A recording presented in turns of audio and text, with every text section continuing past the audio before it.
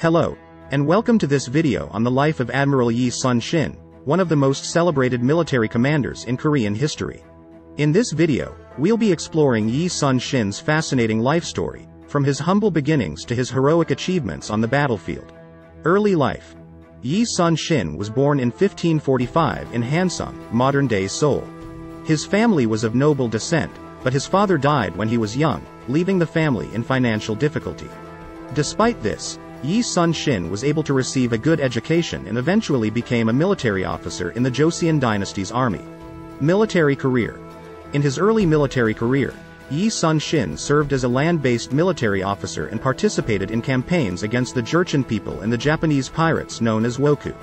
He distinguished himself as a skilled commander and was eventually appointed as the commander of the Jeolla Naval District in 1591. The Imjin War.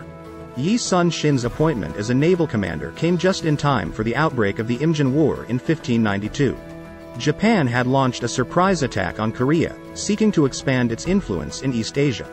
Despite being outnumbered and outgunned, Yi Sun-shin was able to hold off the Japanese invasion through a combination of strategic planning and tactical genius. Turtle ships.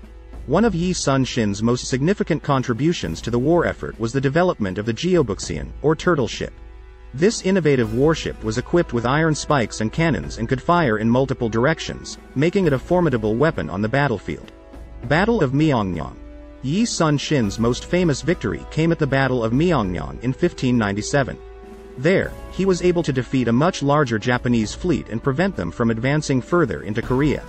This battle is widely regarded as one of the greatest naval victories in history and cemented Yi Sun-shin's legacy as a hero in Korea. Betrayal and death. Despite his successes, Yi Sun-shin faced many challenges during his military career. He was once falsely accused of treason and demoted from his position, only to be reinstated when his accuser was found to be corrupt. Later, he was betrayed by a jealous colleague and sentenced to death by the king. He was able to clear his name before his execution, and he is now widely regarded as a national hero in Korea. Legacy Yi Sun-shin is remembered as one of the greatest military commanders in Korean history, and his legacy continues to inspire generations of Koreans. His contributions to naval strategy and tactics, as well as his innovations in shipbuilding, remain significant to this day. In addition to his military achievements, Yi Sun-shin was also known for his strong moral character and his dedication to the welfare of his troops. In conclusion, Admiral Yi Sun-shin was a remarkable figure whose life and achievements continue to fascinate and inspire people around the world. His story is one of courage, perseverance, and ingenuity, and it serves as a testament to the enduring human spirit. Thank you for watching this video, and we hope you enjoyed learning more about this remarkable figure.